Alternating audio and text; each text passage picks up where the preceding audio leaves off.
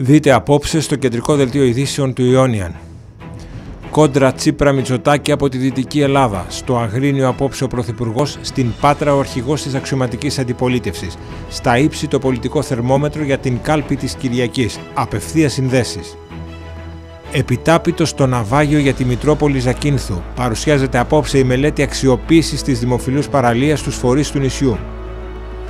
Ικανοποίησης στους καταναλωτές από τις μειώσεις στις τιμές των προϊόντων. Από σήμερα η εφαρμογή του μειωμένου συντελεστή του ΦΠΑ. Άλλαξαν οι τιμές στα ράφια των σούπερ μάρκετ. Πυρετώδης προεκλογική ρυθμή για τους υποψηφίους στην περιφέρεια Πελοποννήσου. Επισκέψεις και περιοδίες λίγες ημέρες πριν τον πρώτο γύρο των αυτοδιοικητικών εκλογών.